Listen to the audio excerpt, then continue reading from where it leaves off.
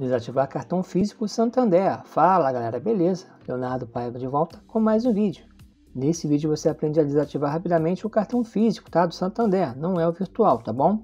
Antes disso, te convido a se inscrever no canal, aqui eu faço tutoriais diversos, sempre para facilitar você. Então, nesse vídeo aqui você aprende a desativar o cartão físico. Caso você tenha perdido, não está encontrando, rapidamente você pode desativar o cartão. Por mais que a pessoa tenha o seu cartão em mãos, tá? Saiba a sua senha, a pessoa não vai conseguir fazer compra. Então como é que eu desativo esse cartão físico? É pelo aplicativo Santander Way, tá bom? É esse aqui, ó, Santander Way. É por ele que você vai desativar o seu cartão físico, tá bom? Então você vai clicar em opções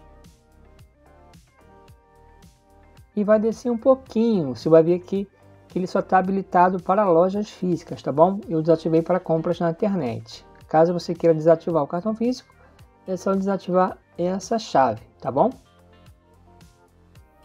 Então explica que o cartão físico será desabilitado para novas compras em lojas físicas, tá bom? Caso você esteja de acordo, é só clicar aqui em continuar para confirmar.